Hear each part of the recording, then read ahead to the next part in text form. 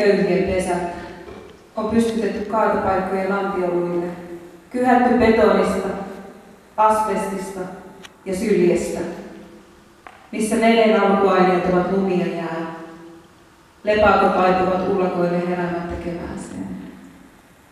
Missä naiset haisevat kuin villivinkit, väivät pienistä ikkunoistaan, kirat halvasta viinistä ja huulipunasta tahmeina. Missä puut kasvavat niin korkeiksi, että niiden hedelmät jäävät poimimatta. Ja omenat, jotka vielä aamulla roikkuivat kuin lasista puhallettuina, riippuvat illantuun mustina oksilla. Missä kymmenen vuodesta toiseen tyhjä, vain hinki ja vika kerrostuvat elämän viivalle.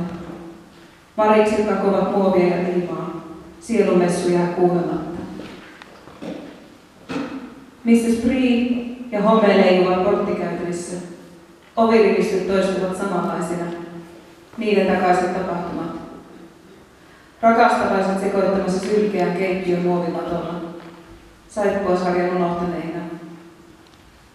Murrosikäinen poika masturboimassa äitinsä peurannahkahanskaan, soittamassa hieman musiikkia, unelmoimassa. Koiperhonen rapsaattelemassa ikkunaan. Huonekasvi tekemässä hidasta kuolemaa. Missä ihmisen suljetun tyhjyyden palaisee hetkeksi mainoskakkan hohtava kuorittu kerma.